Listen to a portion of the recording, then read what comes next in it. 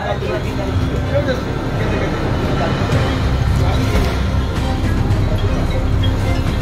तो दिया क्वार्टर ये डॉक्टर का दीजिए ये दीजिए पैसे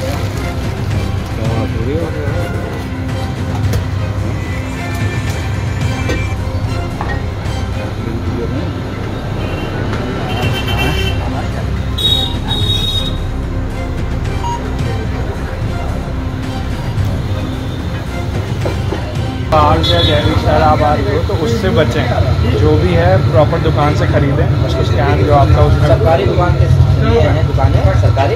उन्हीं से परचेज करें। अन्य कहीं भी बिक्री होती पाई जाए वहाँ से परचेज ना करें। ये आपकी सेहत के लिए जान को भी खतरा है क्योंकि जहरीली भी हो सकती है अगर बाहर की देखा गया है। तो इसीलिए और ये नंबर है अगर आपको कभी पता भी चलता है तो ये हम लोग सी नंबर है तो कॉल करिए। तुरंत कार्रवाई की जाएगी। गाजियाबाद आबकारी विभाग शराब माफियाओं पर लगातार शिकंजा कस रहा है।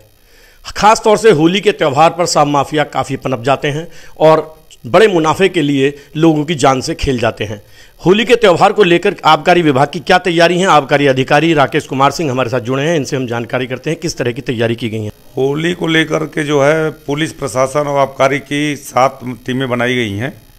और जो जनपद के विभिन्न क्षेत्रों में जहाँ पे अवैध शराब की आमद हो सकती है या जहाँ पे बनती हैं, वहाँ पे लगातार दबिश कार्रवाई की जा रही है और दुकानों का निरीक्षण भी किया जा रहा है।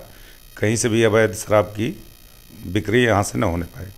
विभाग की टीम किस तरह से लोगों को जागरूक कर रही है ताकि जो शराब के शौकीन लोग हैं वो मतलब ऑथराइज दुकान से ही शराब खरीदें इधर उधर से शराब ना खरीदें? उसके लिए जो है पंपलेट और पोस्टर चस्पा किए जा रहे हैं, ग्रामीण क्षेत्रों में भी और शहर में भी। बाकी लाउड स्पीकर से अनाउंसमेंट भी किया जा रहा है कि अवैध शराब का सेवन ना करें, क्योंकि उसमें मिथाइल अल्कोहल हो सकता है, जो जहर है, और उसको पीने से आदमी की मौत हो सकती है। तो हमारी भी लोगों से अपील है कि शराब का सेवन अगर करना है तो दुकानों से ही खरीदें अवैध अड्डों शराब लेकर न पिएँ और अपने जीवन की सुरक्षा अपने से करें। आबकारी विभाग की टीम ने अभी छापेमारी की है कई टीम लगातार छापेमारी कर रही है अवैध शराब पकड़ी भी गई है। तो लगभग माना जाए एक महीने में कितनी शराब पकड़ी गई है और कितने तस्कर पकड़े गए हैं?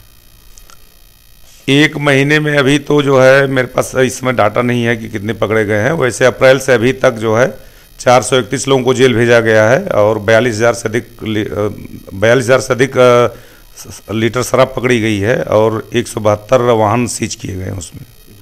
ये हैं आबकारी अधिकारी राकेश कुमार सिंह। इन्होंने बताया कि होली के त्यौहार को लेकर शराब माफियाओं पर किस तरह का शिकंजा कसने के लिए कितनी टीम लगाई गई हैं और किस तरह से लोगों को जागरूक किया जा रहा है। गाजियाबाद से एनवीटी ऑनलाइन के लिए तेजेश चौहान। सर जी अवैध अड- अड्डों से बिकने वाली शराब जहरीली हो सकती है। इसके पीने से आपकी मौत भी हो सकती है। अवैध मदिरा के सेवन से बचें। अवैध मदिरा की बिक्री की सूचना निम्न मोबाइल नंबर पर दें। ये आदि जो नंबर हैं इन पर सूचना दें। तो कैसे पहल है ये? कैसी पहल है? अच्छी पहल है? हाँ अच्छी पहल है। इसके लिए आप कस्टमरों के लिए ठीक है।